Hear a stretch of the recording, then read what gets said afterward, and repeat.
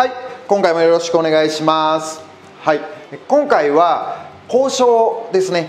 えー、管理会社さんだったり家主さんだったりそれがお客さんだったり、まあ、交渉して僕らは仲介っていうところの間に立っているので管理会社さんと入居者さんをつなげないといけないですし家主さんと入居者さんをつなげないといけないので僕らは仲介間に入っているので両方にも交渉をしないといけないのでその交渉のうまいやり方っていうものがないかなっていうので、まあ、動画を上げれたらなと思ってます。僕が営業マン時代の時に特に気をつけてたその交渉に対してのことなんですけども、まあ、僕以外の営業マンの人とか、まあ、新人の方とかが入ってきた時にその対応とかお客さん案内行って帰ってきた後とか、えーまあ、卓上が終わった後とかですねそのお客さんとの力関係っていうのがそこで人によって全然違うんですよね。多分皆さんの会社にもそういう方がいらっしゃると思います。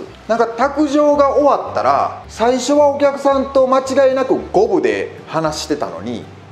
なんか劣勢に立ってるとか。まあ、特にあるのは案内行って帰ってきたらお客さんの方がなぜかすごい偉そうになってるっていうのがよく見受けられます。でこういう風なパワーバランスになってしまうと絶対に決まらないです。そのお客さんに言われることばかりを聞いて「分かりました分かりました交渉します交渉します」って言って結局その交渉を叶えてるにもかかわらず「あ分かったまた考えとくわ」みたいな感じでお客さんとのやり取りが終わってしまったりとかこの交渉こんなに頑張ったのにお客さんがなんでそんな偉そうになってるんだろうっていうもともと僕らは不動産のプロですからお客さんが「いい家ないですか?」って来てでそこからやり取りしていって普通に営業して普通に契約して帰る時には「どうもありがとうございました」って言って絶対帰らないといけないんですよだからお客さんが何かいい家ないですか？って来てるのに契約まで至ったけどおじゃあまたみたいな感じで帰ってるっていうのはこれ交渉であったりとか営業っていうことが全然うまくできてないっていうことです、まあ、そういった方には特に今から僕が言うことっていうのを実践してもらったらなと思います。まず僕がずっと心がけていたことはお客さんにも管理会社さんにも個人家主さんにも何か交渉する時にこっちの要望を2個聞いてもらってから向こうの要望を1個聞く。これをず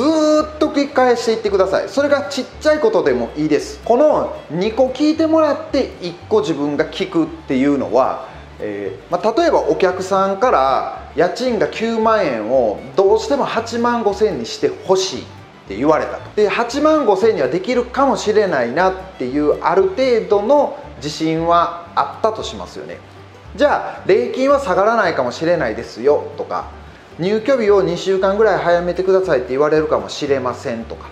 でそれで OK もらってたらもうこれ2個聞いてもらってますよね。でこれを管理会社さんに伝える。じゃあ管理会社さんに8万5千円 OK 出ますかって聞いたらまあいけそうな雰囲気は持ってたので OK もらえた。でこれお客さんには礼金下がらないし入居日が2週間早くなるよって言ってるので次はこの管理会社さんに交渉するんです。礼金が5万円下がらないですか10万円下がらないですかとか。例えば入居日が、え3週間後でもいいって言ってるのに本当は1ヶ月と3週間後じゃないと入居日ダメって言ってるんですけどなんとか3週間1ヶ月間ずらしてもらうんで礼金をぐっと下げてもらえませんかって言うとまあ、管理会社さんからするともともと1ヶ月半後入居ぐらいやった人が1ヶ月早めてくれてるんですよね。まああのものは言いようなのでこのお客さんはもともと3週間ですけど、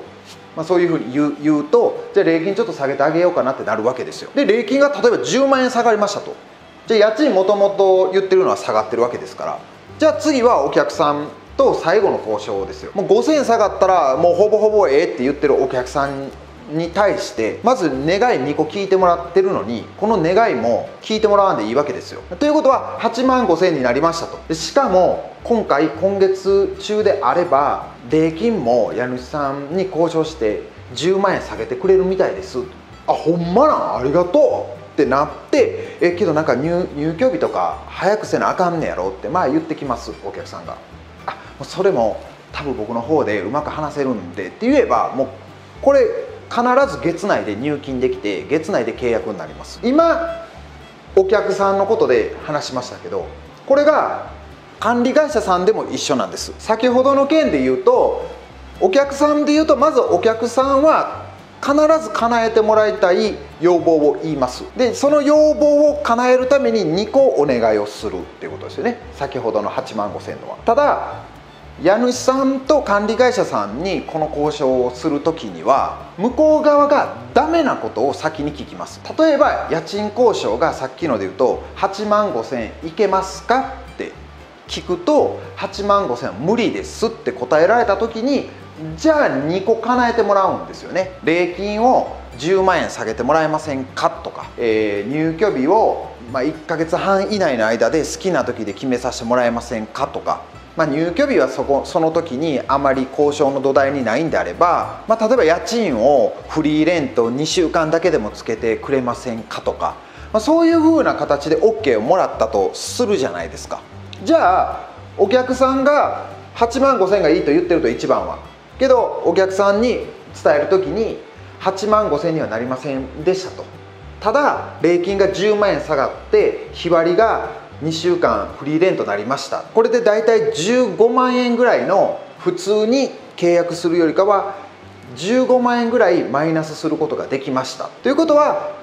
5000円9万円から8万5000円が5000円ですから。じゃあ2年半の間は8万5000円で済んでんのと一緒なんですっていうような形でこっちには伝えれるわけですよね。でこれが向こうの要望1個聞いたら2個お願いするっていうのをずっと続けていくと今お話ししてるのはすごい大きなこと。もう契約に直接関係してくるようなことで1個に対して2個って言ってますけどこれをちっちゃい細部でも全部同じような作業をしていくんですよ。でこの作業をずっとしていくと案内に行って帰ってきたりとかその後卓上してたとしても関係性というかパワーバランスっていうのは営業してる方まあそれが男性女性どちらであれ営業の方がパワーバランスは上になります。でそれを向こうからお願いされた。例えば管理会社さんからそれ8万5千無理ですって言われて自分が何もお願いをしなかった。じゃあこことの管理会社さんとのパワーバランスも言われっぱなしで終わってる。まあ喧嘩で言ったら殴られっぱなしで終わってるようなもんですよね。でそれをお客さんに伝える。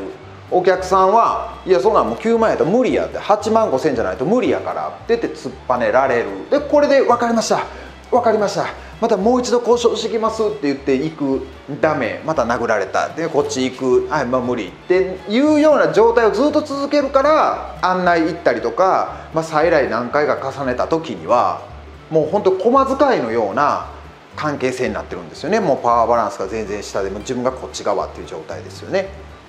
だからそのうまい交渉の仕方っていうよりかはその交渉というのはまあ1個聞くんであれば2個聞いてもらうっていうのが僕の中では、まあ、交渉としては一番正しいやり方かなとは思うんですけどそれと同時に営業していくっていう中でもお客さんとの関係性っていうのはすごい必要なのでそういうまあ、パワーバランスが自分が下になってしまうようなことは絶対ダメです。自分がものすごい上になりたいというわけじゃなく同等でないとダメで最後お客さんが物件を決めて帰る時には「どうもありがとうございました」ってお客さんが言ってくれないといけないんです。で僕らも「どうもありがとうございました」って言って関係性が終わるっていうようなところまで持っていかないといけないのでそこは新人の方とか売り上げが上がってない方は必ず今僕が言ってることはできてないと思うので心がけてみてください。はい、ということで今回交渉がうまくできる方法っていうので僕が営業マン時代にやっていたことを少し話させてもらいました。ありがとうございました。